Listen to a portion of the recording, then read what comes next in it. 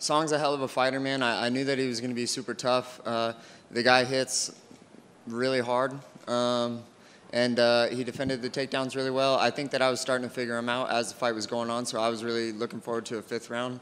Uh, I felt good. I felt fresh. I felt like my eyes were still working, and and and my fifth round was going to be good, but.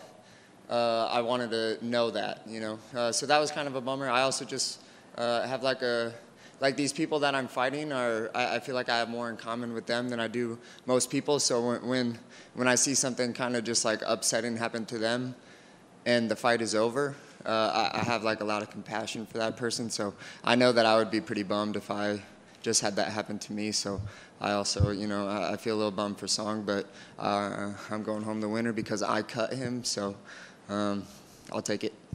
Yeah, I mean, it's not like it was a headbutt or something like that. Sure. You know, you slice both. I, I, did want to ask you about that cut as the fight's going on. I mean, once you see it, I mean, does it become a target for you at that point, or do you have to not just think about that cut and, and, and think about your full game plan, or do you start saying, man, if I just keep wearing on that, like this fight's going to be over? No, it was more just me trying to stick with my game plan. I, I honestly didn't really think about the cut. I could see the blood going into his mouth. Uh, he kind of like he's he's kind of a freaky dude. He was kind of like smiling, enjoying it, enjoying getting the blood in his mouth. He's kind of one of those guys. So uh, I noticed that, but uh, outside of that, no, it was just stick to the game plan and make sure that I don't get my ass knocked out by him.